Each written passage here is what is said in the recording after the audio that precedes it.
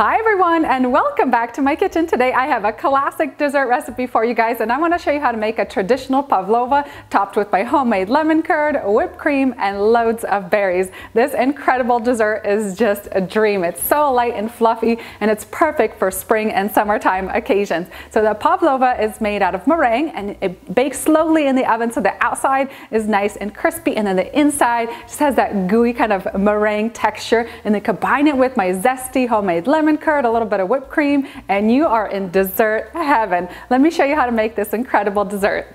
And I'm going to get the pavlova started with the eggs. So today you're going to need six large eggs. I've brought these up to room temperature and we need to separate the egg yolks from the egg whites. I'm going to drop the egg whites into a separate measuring cup. And I actually like to save the egg yolks for my homemade lemon curd. I have a separate video recipe for the lemon curd. I'll include it down in the video description box below, but it's a perfect way to use up those extra egg yolks. Oops.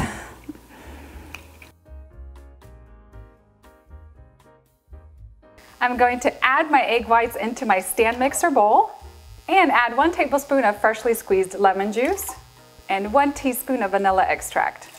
And one of the most crucial things about making a pavlova is starting with a squeaky clean mixing bowl. You want to make sure that it doesn't have any residual grease from a previous recipe. What I like to do is actually rinse it out with white vinegar and then wash it down with a degreasing soap, pat it dry so there's no grease left over. If you do have any grease in there, what's going to happen is the egg whites are going to deflate and they're not going to whisk up nicely and they're not going to reach that stiff peak stage.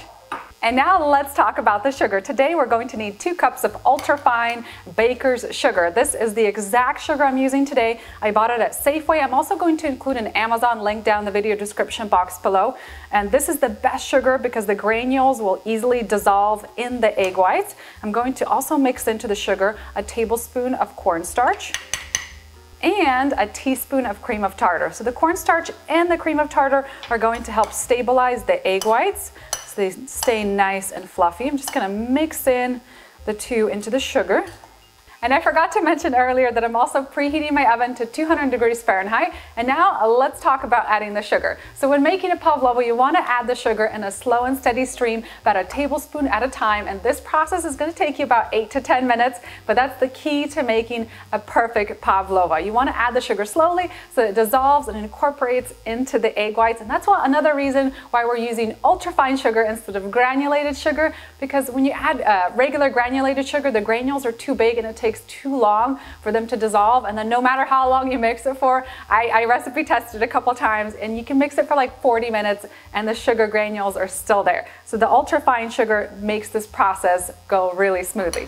So let's turn this mixer on. I'm gonna set it to a nice medium speed. You don't wanna do this on a high speed. All right, grab a tablespoon of the sugar and just pour it in like that. It's a super slow process.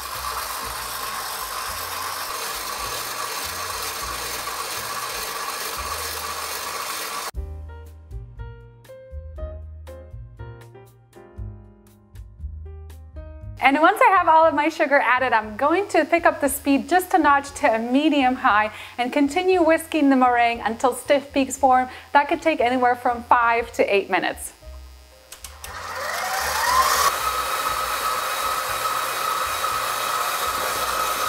And I want to show you guys what this meringue looks like when it's all done. Check out those stiff peaks. It's extra light and fluffy and it holds its shape really, really well.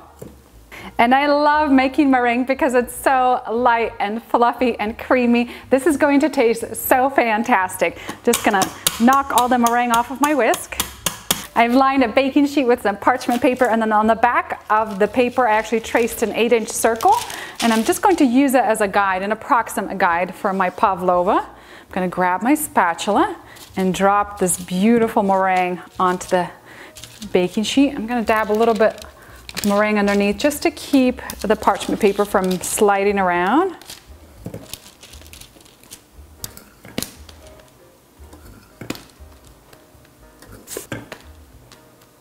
And I'm going to start shaping my pavlova with a spoon. I want to create a nice round even circle. I like to make a little, a little bit of a well in the center for the lemon curd and the whipped cream. Then I'll take an offset spatula and just go around the edges and kind of curve that meringue up and over the, over the top.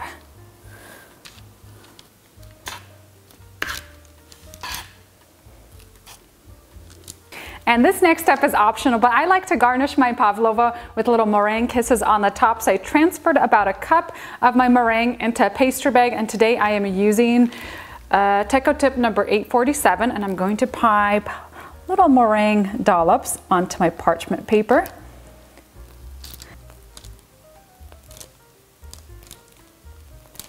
And my pavlova is ready for the oven. It's going to bake at 200 degrees Fahrenheit for one and a half hours. And then I'm going to turn off the oven and let it cool completely in there for about two to three hours. You wanna make sure that you're not opening your oven at any time during this entire process. It needs to bake and cool down slowly. Now the pavlova is naturally going to have a couple cracks and then the center is going to just sink in a little bit and that's totally fine. If you want your pavlovas to be more perfect, you can use the same recipe and make mini pavlovas like three or four inches in diameter. I'm going to include those instructions up on my website online, so make sure to check that out. Meanwhile, let's get this in the oven. And now let's make some simple whipped cream to go with our dessert. So I have one cup of heavy cream that's nicely chilled. I'm going to add in half a teaspoon of vanilla extract and half a cup of confectioner's sugar. Drop that in. And I'm just going to use my hand mixer to whisk this together for three to four minutes until stiff peaks form.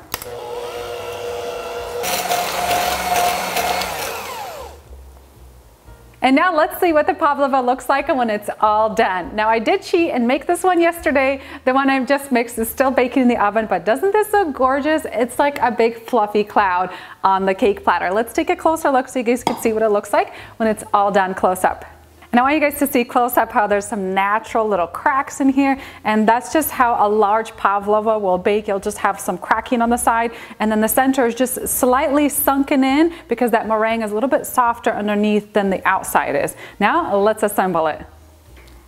And you don't want to load up the pavlova with too much heavy fillings. That's why the whipped cream is such a perfect option. Just going to drop little spoonfuls of that on top. Next, I'm going to add some of my homemade lemon curd on top. Just going to drop little spoonfuls. And this zesty, lemony lemon curd is going to be the perfect complement because the pavlova, let's be honest, is a little bit on the sweet side. So this lemon curd is really going to help break up some of that sweetness. It's going to be so delicious. And let's bring in some berries to garnish the top. I have some diced strawberries and raspberries today, but really you can add just about any type of fruit on top. You can add blackberries, blueberries, kiwis, bananas if you like them. It's gonna be fantastic.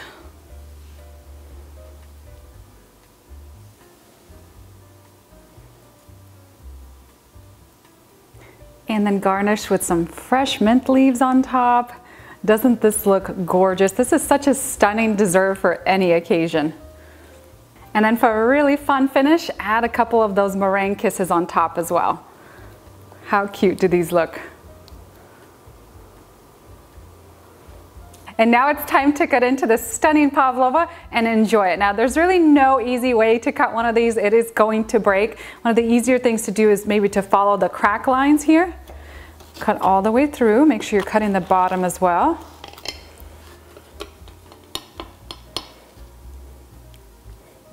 Look at this cloud of incredible goodness. It's going to be so fantastic.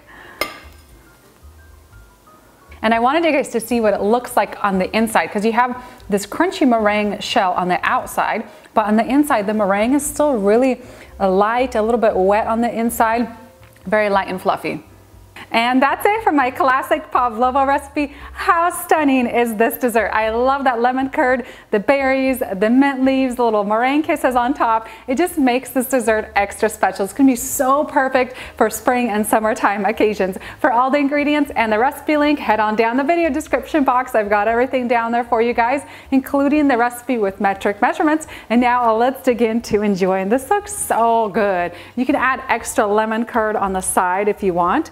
Gonna grab some of this crunchy meringue along with some of that soft and ooey gooey meringue from the inside. some berries. Oh, and I need to find some whipped cream. There it is. This looks so good.